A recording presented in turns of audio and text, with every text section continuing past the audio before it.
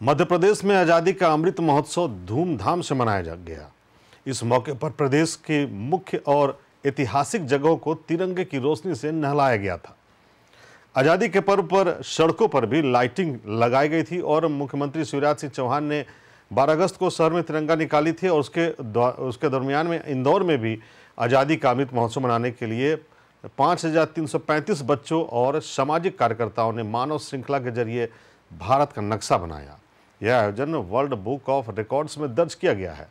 मानव श्रृंखला बनाने वाली संस्था ज्वाला की संस्थापक डॉक्टर दिव्या गुप्ता ने कहा कि जल्द ही हम मानव श्रृंखला बनाने का विश्व रिकॉर्ड तोड़, नया विश्व रिकॉर्ड बनाएँगे।